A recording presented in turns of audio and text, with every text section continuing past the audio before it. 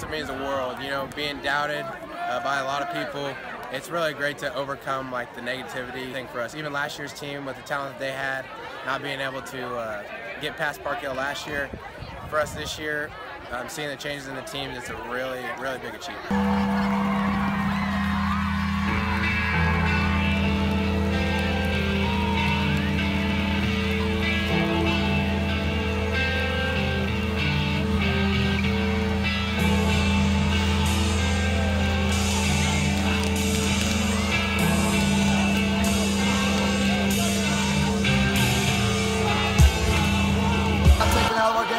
First half, and, and, we stumbled quite a bit. We came out in the second half and played well. We felt we'd be in the second half. We just didn't have enough time there left at the end.